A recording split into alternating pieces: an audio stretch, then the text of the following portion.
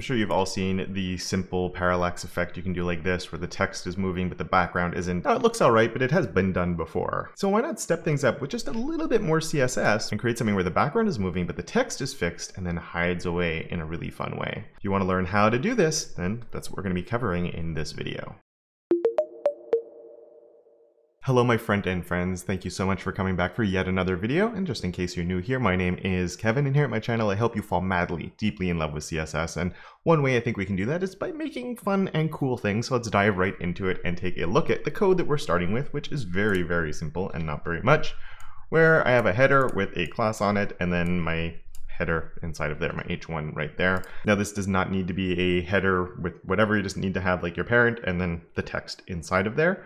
Uh, but right now we don't have very much going on with that. So in my styles, really quickly, we can add in some styling just to make this a little bit bigger basically. I'm using a clamp just to give it a really big font size that is responsive. I have a text transform on there, font weight 900. We just need some big text. Then on the parent of that, we need to add the background image that we want to be using. So background image, however you want, um, position it if you feel like you need to position it. And I added a min height and some padding just to give it sort of the space that it needs to live.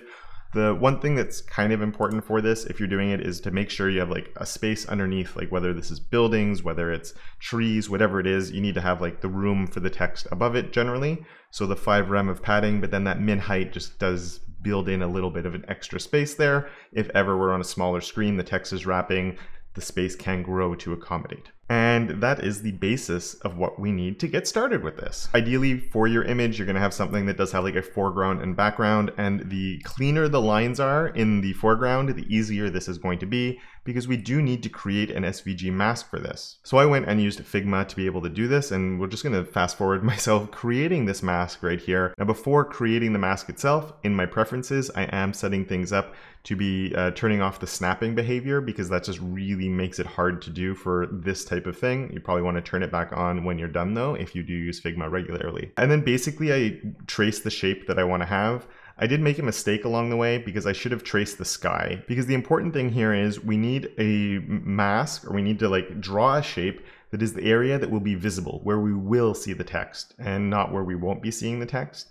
Um, the other thing that's really important is in Figma, you want to make sure that your entire canvas area for your SVG fills the original size of the image that you're going to be using. And that's just to be able to get things to line up and everything. So because I chose the wrong area, it was a little bit more work. But basically you want to have the top area being full and then the bottom area being completely transparent. You can use like their Pathfinder tools to make these different layers, which I did here. I did some copying and pasting just to have one section that's my sky and one section that's my mountains. That's basically what you need. One top section, one bottom section.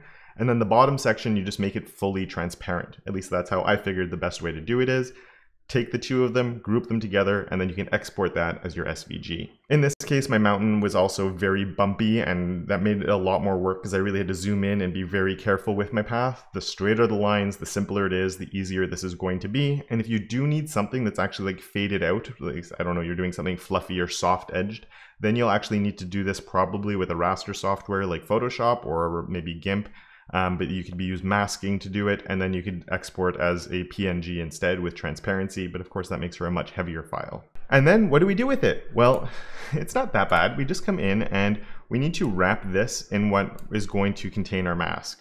So here I've given my site header mask, and then I have my site title inside of there. And we just you just need to have that layering on there.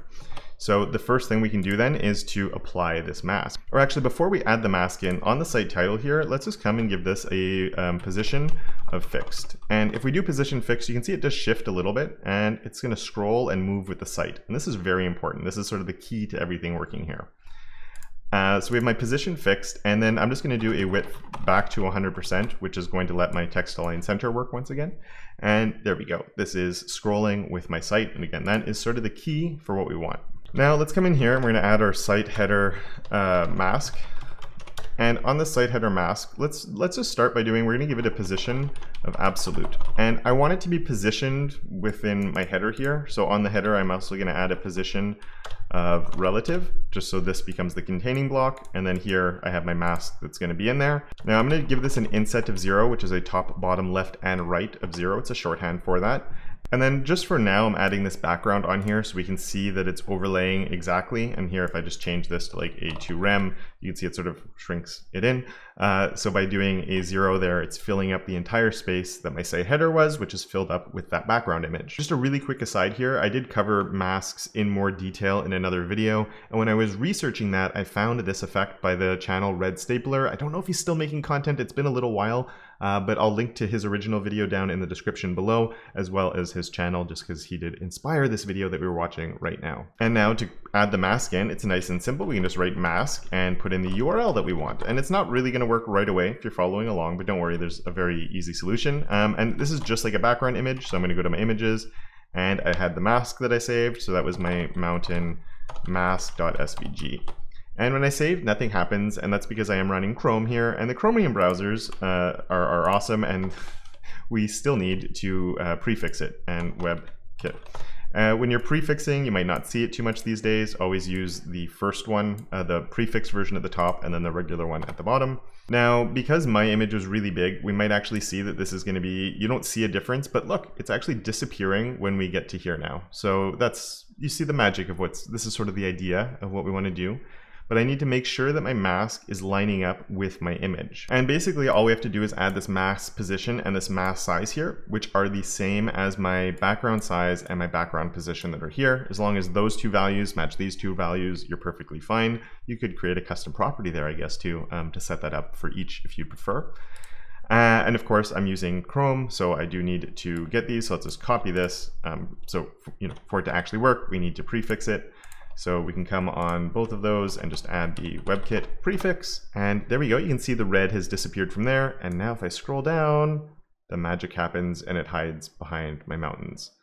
Uh, so it looks pretty good. My mask is a little bit rough around the edges in a few spots. The one thing I will say is um, if you're when you're creating your mask, if you're having trouble with it or if you're not sure, stay a little bit like on the darker side instead of the lighter side if you have a color difference because it's going to make it less noticeable uh, when it's like if you have a little bit of a bad section in your selection that you created. And the nice thing here is obviously I have this red on here I could turn the red off completely. Uh, the only issue is then like sometimes your text might be a little bit hard to read, but we have this natural overlay that we could use here. So I could just put this to zero to be black, or if my text was black, I can make this white.